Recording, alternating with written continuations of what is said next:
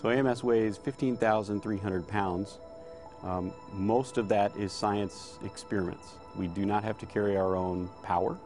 Uh, we do not have to carry our own data systems to transmit that data back to Earth because all of those systems are provided to us by the space station. It's a perfect example of how you can utilize the, the capabilities of the International Space Station to fly groundbreaking science experiments.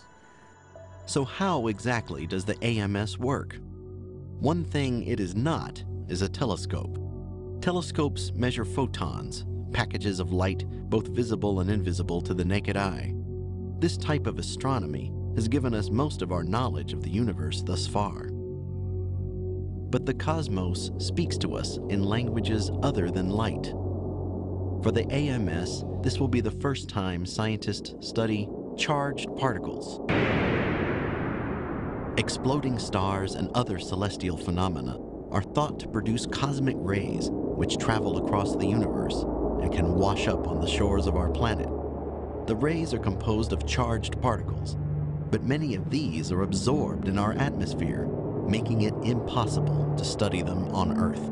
But outside our atmosphere, on the space station, the AMS will be able to sift through these particles, helping us search for antimatter, dark matter, and the stuff of which the universe is made. A particle will pass into the AMS. Layer upon layer of detectors tells us the mass, energy, and velocity of the particle. Other detectors tell us which direction or path the particle took as it passed through the AMS. At the heart of the unit is a magnet that will make the particle curve one way or another, telling us whether it is matter or antimatter. And just how quickly does all this particle detection happen? Faster than I can snap my fingers. Uh, nanoseconds. In nanoseconds. AMS gathers data at a ridiculously large rate. Um, we will see about 25,000 hits per second of cosmic rays coming into the aperture of AMS.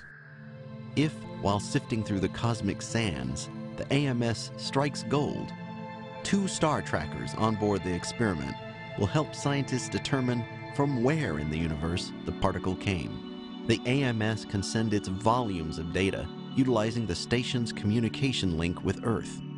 Teams of scientists all over the world will study that data, looking for particles of dark matter, antimatter, and the unknown.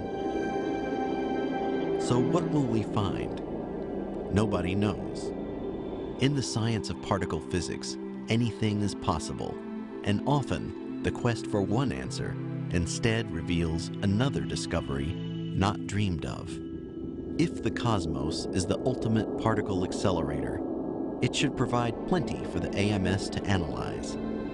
The experiment will stay on board the space station for as long as the station is in orbit, silently sifting through the particles helping scientists find those missing pieces to the puzzle of our universe, and perhaps finding something new for us to explore along the way.